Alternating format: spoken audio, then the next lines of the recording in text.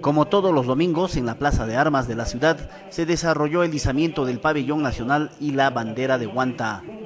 Pero en esta oportunidad, grande fue la sorpresa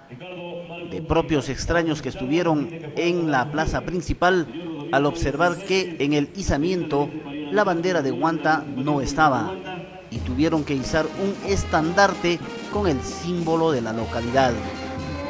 Izamiento de la bandera esta oportunidad los encargados de levantar la bandera, perdón, el estandarte de la ciudad fueron el primer regidor de la municipalidad Rodomir Chávez Rey Sánchez y su homóloga Denis Pariona Lunasco. Luego del izamiento del estandarte de Huanta se procedió con el izamiento de la bandera nacional, en la que estuvieron presentes las principales autoridades de la localidad, entre ellos el propio alcalde y el gobernador del cercado. La pregunta, ¿qué pasó con la bandera de bandera